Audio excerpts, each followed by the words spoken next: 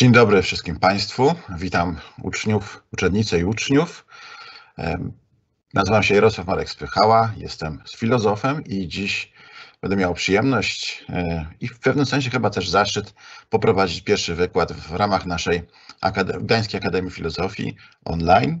A dodam przy tym jeszcze, że mm, Chyba, o ile mi wiadomo, o ile się nie mylę, chyba jeszcze nikt w Polsce nie organizował mm, wydarzenia e, w ten sposób, wydarzenia filozoficznego w ten sposób, na taką skalę, więc e, znowu my jako Gdańsk jesteśmy pierwsi. Ale Adrem, przejdźmy do, do rzeczy. Zapraszam serdecznie. Teraz już witam Was po drugiej stronie e, lustra, po drugiej stronie obrazu, w świecie obrazkowym, który wbrew pozorom odnosi się jak najbardziej do kultury antycznej i jak najbardziej e, sięga po te intuicje, które były bliskie greckim filozofom, aby przybliżać filozofię. O czym opowiem? Przypomnę, że tytuł naszego wykładu brzmi Herakles Nio i Lord Vader na rozstajnych drogach. E, Podzieliłem cały materiał dzisiejszy, który Wam opowiem, na cztery punkty. Opowiem o przedfilozoficznej mentalności Greków, czyli o tym, jak Grecy wyobrażali sobie drogę do szczęścia, jak wyobrażali sobie szczęście. Opowiem o mentalności filozoficznej, czyli o tej zmianie, którą przynieśli greccy filozofowie do świata antycznego i która otworzyła nowe drzwi, nową drogę do szczęścia. Następnie pokażę Wam w dwóch, jak gdyby takich odsłonach, to jakim echem echem odbiły się greckie e, myśli greckich filozofów e, w naszym świecie, w świecie biblijnym, a zarówno w świecie kultury popularnej, gdzie sięgnę do znanych nam na, na pewno Wam filmów takich jak Gwiezdne Wojny 300 czy Iron Man. Ale po kolei, e, krok po kroku, żebyśmy nie ulegli przytłoczeni dużą, dużą ilością informacji. Zacznijmy od właśnie tej przedfilozoficznej mentalności Greków, czyli od tego, e, jak Grecy rozumieli e, szczęście e, w czasach, zanim pojawili się filozofowie. To, co widzicie teraz na, mm, na ekranach, to fragment, to scena, to kadr z filmu Czarownice z Estwick w roli głównej z Jackiem Nicholsonem. Jack Nicholson gra tutaj postać diabła, który uwodzi trzy kobiety, aby, że tak powiem, zbudować swoje królestwo. E, kobiety opowiadają mu o rzeczach, których się boją, których chciałby uniknąć, których, e, które ich zdaniem jakby mogą odebrać im szczęście. E, Jack Nicholson kręci, kręci to ich wypowiedzi, a jednocześnie rzuca jak gdyby gdzieś na marginesie od niechcenia słówko, słowo, taką wypowiedź Well, we don't deal the deck down here, we just play the cards. Czyli nie my rozdajemy karty, nie my rozdajemy talie, my tylko gramy kartami. E, to jest bardzo mm, chwytliwa fraza i wydaje się być tak żywcem wzięta z kultury Hollywood. Natomiast w rzeczywistości zdanie te wypowiedział nieco wcześniej, a właściwie wiele lat wcześniej, e, Arthur Schopenhauer, który powiedział, że e, das Schicksal mischt die Karten und wir spielen, czyli to los tasuje karty, a my gramy. I mm, można powiedzieć, no, ktoś sięgnął do, e, pisząc scenariusz filmu, ktoś sięgnął do, e, do filozofa niemieckiego, idealisty niemieckiego, ale w rzeczywistości to jest jeszcze wcześniejsza myśl i ona e, pochodzi właśnie z okresu przedfilozoficznego, z kręgu kultury greckich wysp i, i świata szerzej antycznego. Sięgnijmy znowu do innego obrazu e, filmowego. Mm, tym razem mamy tutaj kadr z filmu Samuraj znikąd e, w reżyserii e, Akiro Kurosawy. Otóż główny bohater, Samuraj, to jest scena rozpoczynająca film, idzie przez świat, jak gdyby szukając swojego miejsca, dochodzi do skrzyżowania, które tutaj widzicie i mm, no, dwie drogi, więc albo w jedną, albo w drugą, albo w prawo, albo w lewo musi wybrać, ale nie bardzo wie, e, którą, którą z tych dróg ma wybrać, ponieważ mm, wychodzi z założenia, że nieważne co wybierze, to i tak los dla niego mm, jakby napisał scenariusz. A więc e, podnosi kij, który tu widzicie na ziemi, na, zaznaczony na niebiesko, podnosi i postanawia go rzucić do góry, zdać się na ślepy los i tam, gdzie kij upadnie, tam też on pójdzie. I tak też się właśnie dzieje. Kij spada na jedną z dróg i samuraj podąża tą e, drogą. To jest film, który opowiada o zupełnie innej kulturze, która nie miała kontaktu z kulturą grecką, a pochodzi zupełnie z innego okresu, ale w rzeczywistości oddaje to przekonanie Greków, które możemy obserwować w świecie archaicznym, możemy obserwować między innymi za, e, przez, przez pryzmat, czy też za, za pośrednictwem tekstów e, Homera. Zwróćcie uwagę na tą scenę, którą przedstawia, która przedstawiona jest na wazie. E, waza pochodzi mm, z zbiorów Muzeum Watykańskiego. E, widzicie tutaj teraz z prawej strony w centrum e, mm, Hektora, który ulega w walce Achillesowi. I to są dwie centralne postaci. Natomiast za dal, w dali stoją jeszcze dwie inne postaci, które w rzeczywistości e, decydują o tym, co się dzieje na e, polu bitwy. E, z prawej strony najbardziej wysunięta postać to Apollon, który wspiera w walce Hektora, a z lewej strony to Atena, która w walce wspiera Achillesa. Wiemy, że oczywiście, że Hektor ulega i przegrywa tę bitwę. Natomiast patrząc na samą wazę, umyka nam, kto w rzeczywistości zdecydował o losach tej bitwy, tej potyczki. E, I jak gdyby patrząc tutaj, widzimy tylko pewien układ sceniczny, ale nie widzimy tego, co się kryje za tą sceną. Spojrzyjmy za to na, to, na tą scenę z poziomu gruntu, tam gdzie walczą e, wojownicy. I oto oni tutaj mm, zadają sobie wzajemnie ciosy, krzyżują swoje włócznie i wydaje się, że to oni decydują o tym, kto wygra. Wygrywa silniejszy z reguły. Tymczasem tak naprawdę e, nasi bohaterowie są niczym na sznurkach, niczym marionetki, e, którymi e, zawodzą bogowie z e, wysokiego Olimpu. Tak naprawdę, chociaż to oni bezpośrednio walczą, to wcale nie oni decydują, nie ich siły, nie ich predyspozycje, nie ich umiejętności, to nie, o, nie one przesądzają o wyniku e, walki. Za tym wszystkim stoi Zeus i tutaj mamy fragment e, z, z, tekstu Homera, gdzie właśnie jest przed rozpoczęciem walki między Hektorem a Achillesem Zeus rzuca losy na ten czas złotą szalę bogów ojciec bierze, a Hila i Hektora dwa kładzie wyroki, oba oznaczające śmierci, sen głęboki. Zważył, już los Hektora dobiegł swego kresu, schylił się wyrok jego i padł do Hadesu. Paść do Hadesu to po prostu umrzeć. A więc y, rzucił losy, tutaj e, Zeus, i zważył te losy i uznał, że e, przegrać musi Hektor. A więc to, co Hektor zrobi, czy nie zrobi, jak będzie walczył, w rzeczywistości wcale nie wpływa na to, czy odniesie sukces ten sam, y, ta sama intuicja, ona przebija przez wszystkie teksty starożytne, przez całą kulturę starożytną, nie tylko w okresie archaicznym, ale później echo jest obecne, obecne w innych, czy to utworach e, literackich, czy też w, w malarstwie tak zwanym wazowym, gdzie, jak tutaj widzimy, e, mamy przedstawienie losów Edypa, którego rodzice poznali wyrocznie, e, w myśl której Edyp miał zabić ojca i mm, poślubić matkę.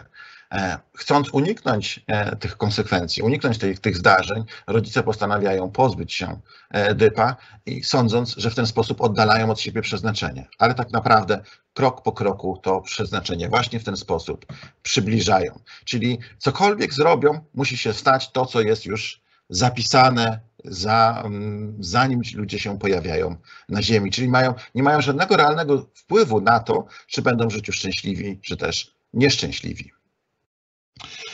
I tak trwało to wszystko do, do około VI, V, IV wieku przed naszą erą, dlatego że to nie był taki proces zmiany, który nastąpił od razu, gwałtowny. To był proces bardzo powolny, ale niewątpliwie rozpoczął się z Pitagorasem i jego uczniami, którzy przynoszą do świata greckiego nowe wyobrażenie o tym, jak wygląda konstrukcja świata. Oto Pitagoras i jego uczniowie opowiadają, to nie od woli bogów zależy to, czy będziecie szczęśliwi, tylko od tego, jak wybierzecie, od tego, co zrobicie. Zależy to, czy zaznacie w życiu szczęścia. I Pitagoras razem ze swoimi uczniami opowiadają tą prawdę, głoszą tą prawdę, głoszą ten obraz poprzez tak zwany mit o Heraklesie na rozstajnych drogach. Zobaczmy zatem, co Herakles widzi e, przed sobą, między czym a czym musi wybrać, aby być szczęśliwym. Oto Herakles pojawia się na skrzyżowaniu, po tak skrzyżowaniu czy na rozstajnych drogach, jakkolwiek byśmy tego nie nazwali. Oto wyruszył on z domu, aby być szczęśliwym i dochodzi do miejsca rozstajnych dróg. Jedna z tych dróg e, po lewej stronie jest wąska. Ciężko ją zobaczyć i tak samo ciężko tą drogą podążać, gdyż jej wąskość e, naraża podróżnego na to, że szybko ją zgubi. Na tej drodze stoi kobieta imieniem Arete. To ta pani, która mówi: Chodź ze mną, moja droga prowadzi do szczęścia, a ty szukasz szczęścia, więc jeśli udziesz, udasz się moją drogą, to to szczęście na pewno znajdziesz. Pyta się Herakles, a na czym ta droga polega? No to wtedy Arete odpowiada mu, moja droga to droga, w której rano wstajesz, zdążysz wstać, nie spóźnisz się do szkoły, możesz się uczyć w liceum, w gimnazjum, gdziekolwiek pójdziesz do jakiejkolwiek szkoły, dasz radę się uczyć, a potem pójdziesz na studia, potem pójdziesz do pracy i to uczyni cię szczęśliwym. Druga z dróg jest znacznie szersza. Łatwo ją dostrzec, trudno ją stracić. Jej szerokość raczej nie stwarza możliwości, aby podróżny łatwo zgubił tą drogę. A na tej drodze staje druga kobieta imieniem Kakija. I Kakija powiada, chodź moją drogą, e, moja droga doprowadzi cię do szczęścia. U mnie nie musisz rano wstawać, nie musisz chodzić do żadnej szkoły, ani podstawowej, ani gimnazjum, ani liceum, ani na studia. Nie musisz pracować i to uczyni cię szczęśliwym. Te drogi na początku wyglądają w sposób oczywisty, przekonujący lub nieprzekonujący. To znaczy, droga Arete jest taką drogą, bym powiedział, która może budzić smutek u kogoś. To znaczy, no, jak mam wstawać, jak mam pracować, to już mi się nie chce. A droga Kaki rysuje się jako taka droga wesoła, fajna, no bo nic nie muszę, to znaczy, że będę uśmiechnięty i szczęśliwy. Ale te drogi tylko na początku wyglądają w taki sposób, dlatego że z każdym następnym krokiem e, dynamika podróży tymi drogami się zmienia. Owszem, ktoś, kto podąża drogą arete, musi pokonać wiele trudności, ale za to spotka go rzeczywista nagroda, gdyż uczyni, ta droga uczyni go ptakiem, człowiekiem wolnym, w tym sensie, że zaradnym, że zawsze sobie i wszędzie będzie mógł poradzić. Droga e, Kaki na początku jest bardzo łatwa, każdy może nią podążać, ale z czasem e, człowiek nabywa pewnych ciężarów, pewnych ciężarów niekompetencji, niemożliwości radzenia sobie. Jest przykłuty do sytuacji, w której do, do stanu siebie, w jakim wyszedł, czyli do stanu niemocy, nieumiejętności, braku wiedzy, co ostatecznie przesądza jego upadku właśnie do owego Hadesu, czyli do miejsca, gdzie nie jest widzialny. Nikt go nie widzi, nikt go nie spostrzega w życiu, ponieważ ten człowiek e, nie posiada żadnej umiejętności, więc po co mamy z nim rozmawiać, skoro on nic nie może na nas zrobić, nic nie może nam pomóc, ani w żaden sposób niczego nie może konstruktywnego zrobić w swoim życiu. E, dodam, że słowo Hades po grecku e, to słowo, które oznacza niewidzialność, niewidzialny. Ha czyli niewidzialny. Człowiek staje się w związku z tym w pewnym sensie symbolicznie martwy jeszcze za życia. Oczywiście pewna propozycja, filozofowie greccy, a mówię tutaj o Pitagorejczykach, nie przesądzali, jak człowiek ma wybrać. Mówili tylko, a właściwie rysowali przed nim obrazy, które pokazywały, jakie będą konsekwencje każdego z tych wyborów. Oni nie dążyli do tego, żeby zmusić człowieka, aby postąpił w ten lub inny sposób. Nie chcieli być e, kimś, kto nas e, zmusza do szczęścia. Chcieli tylko być tymi, którzy to szczęście, drogę do tego szczęścia mogą nam e, pokazać. Mit o, o Heraklesie na starych drogach przedstawiono w starożytności i później pod postacią litery Y, a to z tego względu, że jedno ramię jest szersze, a drugie węższe. I te ramiona symbolizują właśnie owe drogi. Dodam także, że panie, które widzieliście, e, te kobiety, które widzieliście na, mm, na, w grafice, to ich imiona są imionami mówiącymi. Pierwsza, Arete, to, mm, to imię znaczy, pochodzi od greckiego czasownika ariskomai, sprawiać, że ktoś lub coś jest najlepszy. A imię Kakija pochodzi od przymiotnika greckiego kakoska kakakon, czyli zły. Czyli ona pokazuje złą drogę, a ta pokazuje drogę doskonałości, doskonalenia się. Dla Greka było to oczywiste, dla nas już, ponieważ nie mówimy w języku greckim, nie jest to takie intuicyjne, ale sam obraz pozostawia, e, nie pozostawia, wydaje mi się, żadnych niedomówień. Tą nomenklaturę i tą optykę przejęło też chrześcijaństwo. Tu macie traktat Tory z XVI wieku, który pokazuje, adaptuje jak gdyby symbol rozstajnych dróg do tradycji chrześcijańskiej, gdzie ten, kto podąża drogą łatwą, upada do piekła, a ten, kto podąża drogą trudną, musi się przeciwstawić różnym, różnym strachom, różnym potworom, osiąga koronę, osiąga królestwo niebieskie, ale też przede wszystkim władzę nad sobą samym, nad swoim losem, nad szczęściem. I tego, to, to, tego, tego jakby to próbowali obiecywać w pewnym sensie też e, filozofowie wprost i, i, i nie wprost. To znaczy, tutaj macie fragment z Seneki, który powiada, tak oto idzie się ku gwiazdom, bo wszak filozofia obiecuje mi, że zrówna mnie z bóstwem. Można to rozumieć w ten sposób, że filozofowie obiecywali ludziom, że staną się bogami, ale można to rozumieć w takiej wersji trochę lżejszej, że oto ludzie, e, niczym bogowie, będą zawiadywać swoim losem. To znaczy wejdą w kompetencje bogów w tym znaczeniu, że to od ich postępowania będzie zależało, czy będą szczęśliwi, czy odniosą sukces. Innymi słowy, filozofowie przekonują nas, że możemy wziąć w swoje ręce, że, że, możemy wziąć los w swoje ręce, że nasz los, nasze szczęście zależne jest nie od woli bogów, lecz od naszych wyborów. Swój los, swoje szczęście możemy wybrać sami. Wydaje się to nam dzisiaj być może oczywiste, ale w tamtym świecie to nie było takie jasne i raczej na ogół wszyscy myśleli, na ile możemy wierzyć oczywiście opisom pochodzącym z tekstów literackich, wierzyli, że jednak to, co się nam przytrafia, e, zależy od woli bogów, a nie od tego, czy jesteśmy pilni, uczciwi, czy dobrzy. E, w dzisiejszej kulturze, jeżeli popatrzycie chociażby na hasła przy okazji różnych wyborów, czy też hasła, które pojawiają się w muzyce, to zobaczycie, że to yes we can tak, my możemy być szczęśliwi, tak, my możemy wybrać naszą drogę do szczęścia, to właśnie te hasła, one są, pojawiają się, są popularne, pojawiają się niemalże wszędzie, e, co wcale nie znaczy, że są takie oczywiste i co nie znaczy też, że mm, jak gdyby autorami tych haseł są postaci, w ramach których przy, przy, okazji których się te hasła e, lansuje. Nigdy nie mów nigdy, znaczy nie poddawaj się, zawsze możesz powalczyć o swoje szczęście, o swój dobry los. 2015 kanclerz Niemiec Angela Merkel powiada, wir schaffen das, damy radę, zrobimy to, uczynimy to. Jest weekend, to jest dokładnie to samo, tylko w języku e, niemieckim. Tradycja, przechodzimy teraz do drugiego punktu, tradycja, tradycja mitu o Heraklesie na stanych drogach, ona też y, pobrzmiewa, pobrzmiewa za sprawą ewangelistów, pobrzmiewa w Biblii.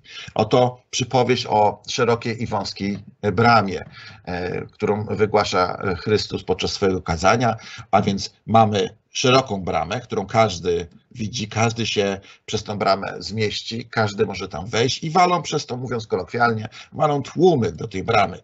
Każdy chce iść w tą drogą, bo myśli, że to właśnie jest ta droga, która prowadzi do szczęścia, ponieważ wszyscy tak robią.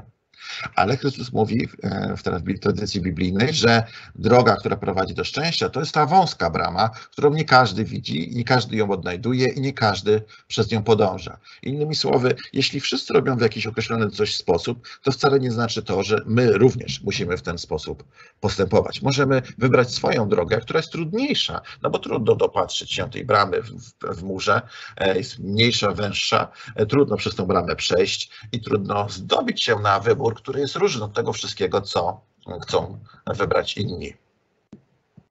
E, w innym miejscu podczas tak zwanej sceny pojmania Chrystus używa takiego, wypowiada takie słowa, schowaj miecz swój do pochwy jego, bo wszyscy ci, którzy miecza chwytają, od miecza giną. Może się to wydawać, znowu, że jest to takie mm, charakterystyczne dla tradycji biblijnej, ale jeśli dobrze się wczytacie w te słowa, zobaczycie, że tak naprawdę to są słowa, które powtarzają, e, powtarzają nauki, przypowieść płynącą, czy też nauki płynące z mitu o na ostatnich drogach, E, jak, tak jak tutaj na tej grafice widzicie, człowiek, który atakuje drugiego, tak naprawdę atakuje siebie. E, jak to się dzieje? No patrzcie e, o to w taki sposób. Gdy decydujemy się na agresję, to wybieramy łatwą drogę i nie widzimy konsekwencji naszego wyboru. Nie rozumiemy, nie rozumiemy, że krzywdząc innych, krzywdzimy przede wszystkim siebie. Wybierając drogę agresji, kierujemy się ku przepaści. Nie rozumiemy tego, bo widzimy zaledwie tylko fragment rzeczywistości. Agresja nas oślepia tak, jak los oślepił Edypa. W agresji pozwalamy, aby coś innego decydowało o naszym losie. Tu widzicie ptaka, który jest symbolem każdej potencjalnej agresji o każdej potencjalnej osoby, której możemy wyrządzić krzywdę. Nam się wydaje, tym, którzy krzywdzą, że oto krzywdząc tą osobę, tą istotę, że jesteśmy lepsi, że jesteśmy silniejsi, że coś osiągamy i że krzywdzimy kogoś, nie siebie. Ale to tylko zależy od perspektywy, e, jaką e, udaje nam się osiągnąć, z jakiej udaje się nam na tą sytuację spojrzeć. Oto e, wilk, który dostrzega ptaka, myśli: O, to mam ofiarę, mam kogoś, kogo mogę zaatakować, ja wygram, nic mi się nie stanie. Ale on to widzi tylko dlatego, że patrzy na to zdarzenie z określonej perspektywy. Uderza, atakuje, rusza do ataku e, i w pewnym sensie mu się udaje, ale nie dostrzega, że atak na ptaka przyczyni się do tego, że sam poniesie porażkę. Innymi słowy, w ten obrazowy sposób chciałem Wam zwrócić uwagę, że to, co jest w danym momencie niewidoczne, wcale nie znaczy, że nie istnieje. Tak jak nie widzimy tlenu, a jednak nim oddychamy. I tak samo jest z agresją. E, pouczył nas o tym mistrz Joda. Nie wiem, czy oglądaliście e, Gwiezdne Wojny. Ja należę do pokolenia, które oglądało, na nim się wychowało. Oglądałem ten film mając lat 6. E, jeszcze nie wszystko rozumiałem, ale czułem potęgę mocy. I tak tutaj Joda przestrzega, że strach i agresja prowadzą do ciemnej strony mocy. Kto wybiera ścieżkę agresji, przestaje widzieć i staje się ślepcem. Upada w przepaść, w której panuje tylko mrok.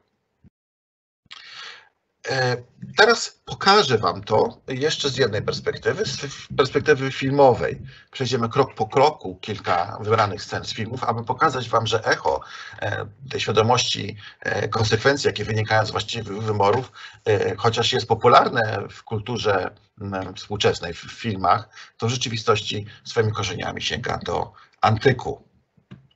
Oto właśnie do takiej przepaści, takiej ciemności, do takiej jaskini wchodzi Luke Skywalker.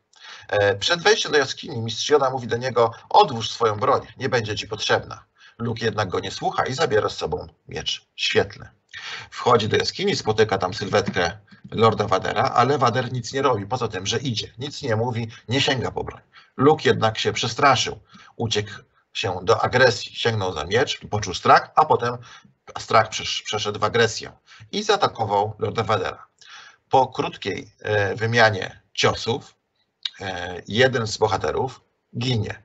To jest Lord Vader. Luke ucina mu głowę, głowa spada na ziemię i nagle wybucha przyłbica, a spod wybuchłej przyłbicy Luke zauważa, że wychybia jego własna twarz. Innymi słowy, kto miecza chwyta, kto mieczem wojuje, od miecza ginie. Luke przegrał sam z sobą. Przegrał, ponieważ poczuł strach, co nie jest samo w sobie złe, ale pozwoli, żeby ten strach zapanował nad nim i w tym momencie strach przeszedł w agresję. Luke jest smutny, bo zdaje sobie sprawę z tego, że poniósł porażkę. Tutaj inna scena z filmu e, Iron Man. To już jest nowszy film, przypuszczam, że ten mogliście widzieć. Jest to scena, w której główny bohater, Tony Stark, producent broni broni, którą sprzedaje na całym świecie. E, nagle wiodąc w Afganistanie w, w asyście żołnierzy, wpada w zasadzkę. E, rebelianci pokonują całą obstawę. Tony Stark chowa się za skałą i chce dzwonić po pomoc. Tymczasem nagle niespodziewanie spada obok niego rakieta. Tony zdziwiony, rakieta nie wybucha w pierwszym momencie, Tony patrzy na rakietę i w ułamku sekundy dostrzega nazwę firmy, która wyprodukowała rakietę. To jest Stark Industries, czyli jego własna firma. Czyli zginął od broni, którą produkował, czyli zginął od broni, y, którą się posługiwał. Kto mieczem wojuje, od miecza ginie. Teraz przenosimy się do filmu, który miał premierę swoją w 1999 roku, czyli e, rok przed e, zmianą e, stuleci. Tego filmu może nie widzieliście wtedy, ale może, może później. Był ten film bardzo popularny swego czasu. Otóż tylko dla tych, którzy nie widzieli, to muszę tutaj takie drobne wprowadzenie poczynić. Generalnie chodzi o to, że maszyny zdobywają panowanie nad ziemią. Nie wolą ludzi, zamykają ludzi w, w, w, reaktorach, które e, produkują prąd, energię potrzebną maszynom do tego, aby mogły funkcjonować. Ludzie są uwięzieni w takich kapsułach w pełnych, e, pewnej cieczy, której e, jakby ciało, z ciałem nic się nie dzieje, ale żeby ciało mogło produkować energię, ludzie są podłączeni do systemu komputerowego, do programu, który symuluje rzeczywiste życie. E, ludzie myślą, że żyją rzeczywistym życiem, w rzeczywistości wcale nim nie żyją, tylko są jako niczym baterie zamknięci w tych e, pojemnikach. E, mm, jest jedna grupa rebeliantów, której przewodzi Morfeusz a, i Trinity, którą tutaj widzicie, do której dołącza później główny bohater Neo. Rebelianci starają się wyzwolić ludzi z niewoli w, w reaktorach i przywrócić do normalnego życia. Ale żeby to się stało, żeby to nastąpiło, oni muszą y, jak gdyby y, walczyć w ramach systemu komputerowego, czyli do tej świadomości wirtualnej muszą docierać i tam walczyć z agentami y, maszyn. I mm, różnica między światem wirtualnym a rzeczywistym między innymi polega na tym, że zmieniają się kolory. Gdy bohaterowie są w świecie wirtualnym, tak jak teraz, to przeważa kolor, dominuje kolor zielony. Gdy są w świecie rzeczywistym, dominuje kolor niebieski, Kolory oczywiście symbolizują życie i śmierć. Niebieski, Królestwo Niebieskie, życie, a zielony zgniliznę Hadesu, zgniliznę podziemi, czyli świat zmarłych. I oni teraz są tutaj e, w, w, w podziemiach, znaczy nie tyle w podziemiach, co metaforycznie w podziemiach, a w rzeczywistości w programie komputerowym, w systemie e, wirtualnym. I mm, jak gdyby walczą z agentami. W tej chwili mają się przenieść za pomocą e, specjalnego urządzenia, którym jest e, telefon, e, telefon symboliczny oczywiście, mają się przenieść do świata rzeczywistego. Trinity dostrzega przed przeniesieniem się do świata rzeczywistego kątem oka właśnie pojawiającego się agenta systemu maszyn i mm, chce go zatrzymać, no ale już jest w trakcie teleportacji, w związku z tym nie zdążyła. W tym świecie wirtualnym zostaje jej przyjaciel, Nio.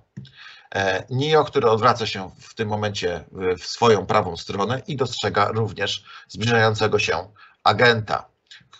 Nio też wie, że konfrontacja z agentem jest skazana na niepowodzenie. Rebelianci nie są w stanie wygrać z agentami, którzy są strażnikami systemu komputerowego i zazwyczaj te porażki, te, te, te, te zmagania kończą się e, przegraną. W związku z tym e, zazwyczaj rebelianci uciekają przed agentami.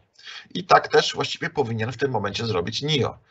Nio odwraca się w drugą stronę, w lewą i dostrzega drogę ucieczki, dostrzega schody, przy których może uciec z, z peronu kolejowego e, metra i uciekać, uciec przed agentem do innego miejsca, do innego punktu teleportacji, w ten sposób e, uniknąć niebezpieczeństwa. Nio się oczywiście boi, bo zdaje sobie sprawę z, wagi, z powagi sytuacji. Jak popatrzymy na scenę z rzutu, e, e, z lotu ptaka, e, to zauważymy, że przed Nio rysują się dwie drogi. Albo droga ucieczki, albo droga konfrontacji.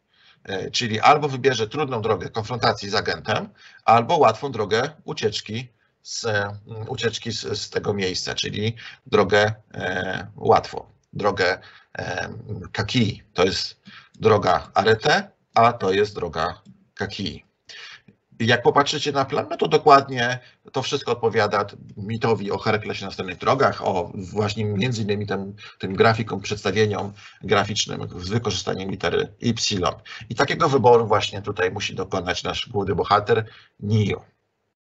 E, Trinity obserwuje naszego bohatera z poziomu systemu e, już w świecie rzeczywistym. Widzicie, jest kolor niebieski i jest e, zaskoczona tym, że Neo nie ucieka i krzyczy uciekaj, uciekaj, ale Neo nie ucieka. Odwraca się do mm, Morfeusza i mówi, co on robi, co on robi, czemu on nie ucieka. A wtedy Morfeusz powiada, he is beginning to believe.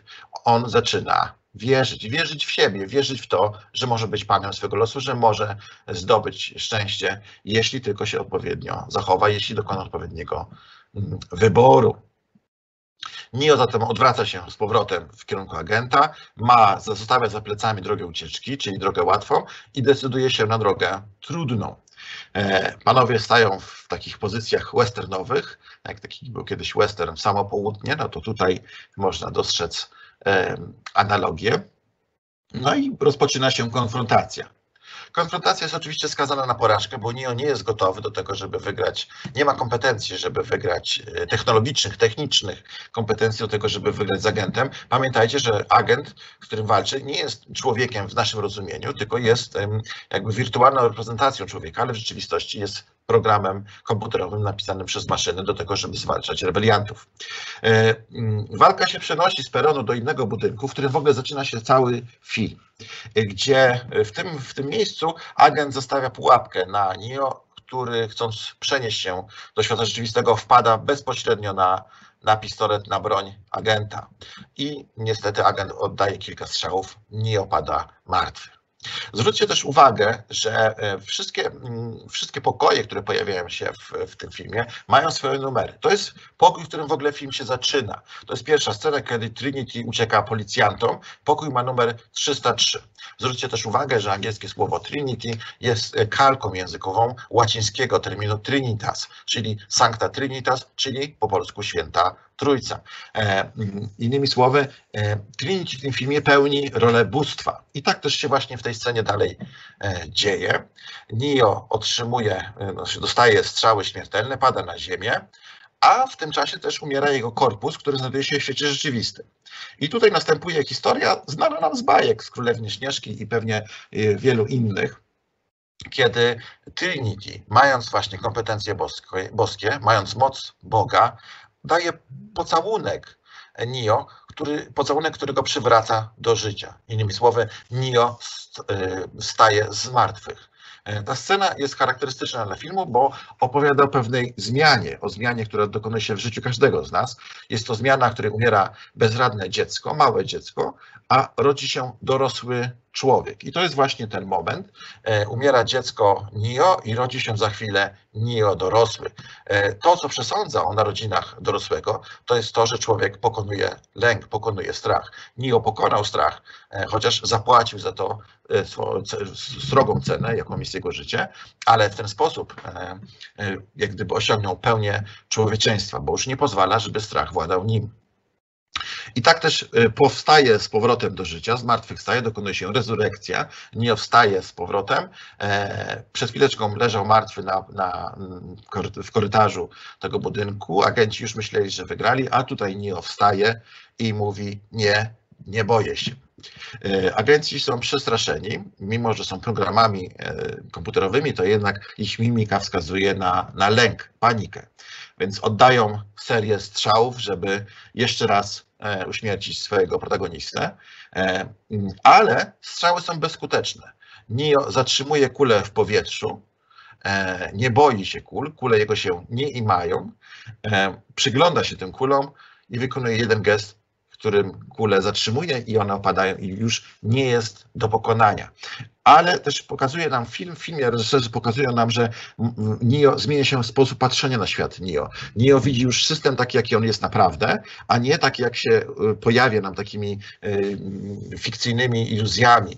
E, Neo widzi prawdę, widzi taki świat, jakim jest, bo strach jest czymś, co przesłania nam widzenie, powoduje, że nie widzimy świata takim, jakim on jest. E, widzimy go zawsze wyolbrzymionym, nieprawdziwym, nierzeczywistym. W związku z tym najczęściej ponosimy porażki, ponieważ jeśli jeśli nie widzimy rzeczywistych przeszkód, ulegamy e, fatamorganom, iluzjom, no to najczęściej potykamy się o różne rzeczy, których e, w innych okolicznościach udałoby się nam ominąć. W innych okolicznościach, czyli w takich, kiedy patrzylibyśmy na świat oczyma pozbawionymi strachu.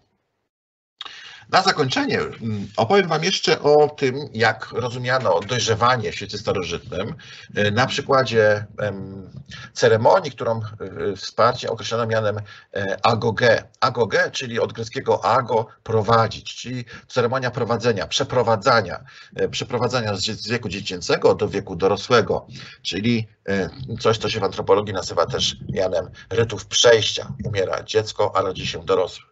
Oto nasz mały bohater, Spartanin, e, napotyka na swojej drodze wilka. Wilk nie jest od niego większy. Jak widzicie, sięga mu do połowy ciała, e, ale chłopiec zdaje sobie sprawę, że walka, konfrontacja z wilkiem jest czymś, jakby to powiedzieć, niebezpiecznym i że jego szanse na, e, na zwycięstwo są raczej nikłe. Podobnie jak nikłe były szanse na zwycięstwo nie w konfrontacji z agentem Smithem. W związku z tym e, nasz bohater szuka pomysłu, jak można z tej opresji wyjść. Chłopiec czuje strach, to nie ulega wątpliwości, ale panuje nad tym lękiem, panuje nad tym strachem. Zachowuje spokój i ogląda się za siebie. Nie wiem, czy to przez e, złącza komputerowe dobrze widać, ale tutaj jest zwężenie między dwoma skałami. Chłopiec e, dostrzega przesmyk. Postanawia, że E, przejdzie przez te, między, między tymi skałami na drugą stronę i licząc na to, że wilk jako większy, że tak powiem, w obwodzie zaklinuje się i w ten sposób będzie mu łatwiej mu go pokonać, będzie mógł go pokonać, ponieważ wilk nie będzie mógł dalej walczyć. Tak też robi. Przechodzi na drugą stronę i od tej pory już nie widzimy prawdziwego wilka. Widzimy tylko cień, który wilk rzuca na skalną ścianę. Jak przypatrzycie się, to ten cień jest dużo większy niż rzeczywisty wilk, którego widzieliśmy przed chwilą. Pamiętacie?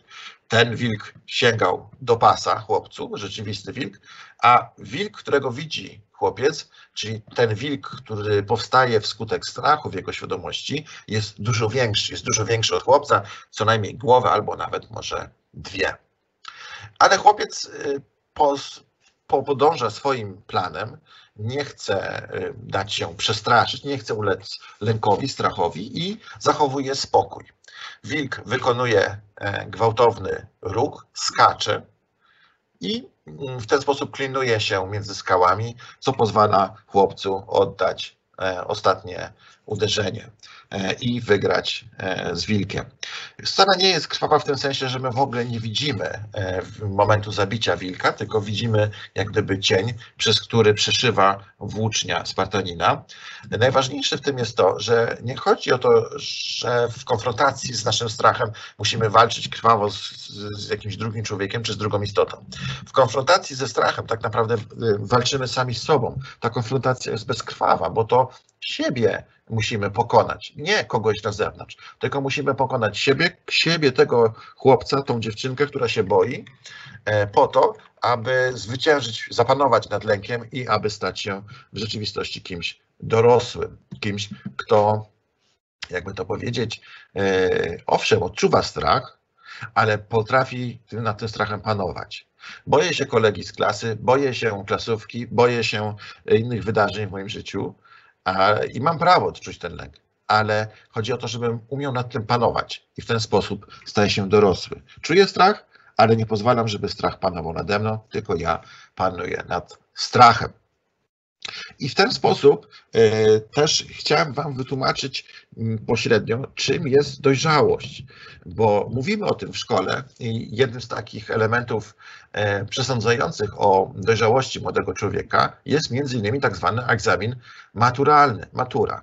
Słowo matura pochodzi od łacińskiego słowa maturus, czyli dojrzały właśnie. Maturus, matura, maturum. Dojrzały chłopiec, e, dojrzała dziewczynka, dojrzały dojrzałe dziecko, jakby dosłownie się tłumaczyć. Przy czym mm, to słowo mm, w wymiarze szkolnym, matura, e, zdawanie egzaminu maturalnego, mm, jest mocno skoncentrowane na naszych wynikach szkolnych, na ocenach. Natomiast w świecie antycznym słowo dojrzały, dojrzałość, nie tyle słowo, to sama dojrzałość, związana była z, z, przede wszystkim z umiejętnością widzenia, niezakłóconego widzenia, czyli umiejętnością widzenia nawet pod presją strachu. Tylko ten był dojrzały, kto mógł widzieć nawet w chwilach największego zagrożenia. E, popatrzcie, dojrzałość to dosłownie dojrzewać. Dojrzewać nie w sensie wzrastać, ale dojrzewać coś z daleka na przykład, w sensie dostrzegać. Dojrzały człowiek to jest ten, który dostrzega, dojrzewa konsekwencje swoich czynów, zanim one nastąpią. Czyli mm, aby podać taki życiowy przykład, młody chłopak jedzie w wakacje e, do swoich dziadków na wieś, e, postanawia iść na, nad jeziorko, żeby się wykąpać, no i tam spostrzega koleżankę. Chciałby jej zaimponować, a więc mówi sobie w duchu, skoczę do wody na główkę, żeby pokazać jej, jaki jestem sprawny. Ale mm, tak postępuje człowiek, który nie jest dojrzały. Dojrzały człowiek, dojrzały chłopiec będzie tylko wtedy, jeśli zanim skoczy, to dojrzy to, co może być pod wodą, zanim do tej wody skoczy. Dojrzy na przykład, e, że może, mogą tam być jakieś e, gruzy, mogą tam być jakieś pręty, mogą być tam jakieś części samochodów, że może znajdować się pod wodą coś, coś pod lustrą woda, pod taflą, e, pod taflą lustrą, woda, lustrą wody, taflą mm, wody, czego on nie widzi z zewnątrz dosłownie, ale widzi oczyma wyobraźni i w związku z tym antycypuje konsekwencje, które mogą wyniknąć z tego feralnego skoku, to znaczy, że skoczy i na przykład uderzy główką, głową e, w skały. Ja sam byłem świadkiem takiego zdarzenia i dlatego posługuję się tym przykładem. E, widziałem go, pamiętam, który to był rok, 2005 rok, to było niedaleko Warszawy i byłem świadkiem takiego skoku, który skończył się niestety feralnie. Na szczęście na tyle feralnie, że chłopak się pokancerował, ale nie, nie zginął, nie, nie odniósł takich trwałych uszkodzeń ciała. Był po prostu mocno poharatany. Być może blizna nawet dodawała mu e, przystojności później, ale w chwili, kiedy to się stało, nie wyglądało to najlepiej. I na tym też właśnie polega dojrzałość. To znaczy, yy, mamy prawo chcieć komuś zaimponować, mamy prawo chcieć zrobić dobre wrażenie, mamy prawo skorzystać z, wody, jak jesteśmy na wakacjach, ale trzeba to robić w taki sposób, żeby dojrzewać, dostrzegać konsekwencje poszczególnych wyborów, żeby później nie stanąć w sytuacji, w której no, nagle się może okazać, że nasz wybór ma nieodwracalne konsekwencje. Dobrze jest, jak są odwracalne, ale czasami się już ich nie da E, mm, odwrócić. Innymi słowy, dojrzały jest ten, kto dojrzewa, dostrzega w sensie konsekwencje swoich czynów, zanim one nastąpią. Musisz dojrzeć rzeczy, zanim się staną, i to cię będzie czyniło dojrzałym człowiekiem. E, pamiętajcie, że wybór należy zawsze do Was i że każde czynienie bądź nieczynienie jest wyborem. E, każdy, mm, każdy taki moment, kiedy mówię sobie, że e, mm, na przykład dzisiaj nie wstanę na czas, nie pójdę do szkoły albo nie zrobię czegoś, e, to jest właśnie moment wyboru. To jest moment, który nawet jak nie, nie ma czegoś, że wybieram to lub tamto, tylko że po prostu coś robię lub czegoś nie robię, to w rzeczywistości jest to wybór, który niesie za sobą dalsze konsekwencje. Dlatego życzę Wam siły widzenia, sił panowania nad swoimi rękami. Macie do nich prawo, ale panujcie nad nimi. I mam nadzieję, że dzięki temu dostrzeżecie drogę, która doprowadzi Was do szczęścia. Tym, tymi słowy kończę nasze dzisiejsze spotkanie. Pierwsze spotkanie w Gdańskiej Akademii Filozofii. Niech moc będzie z Wami i mam nadzieję spotkamy się niebawem znowu w nowym roku. Wszystkiego dobrego.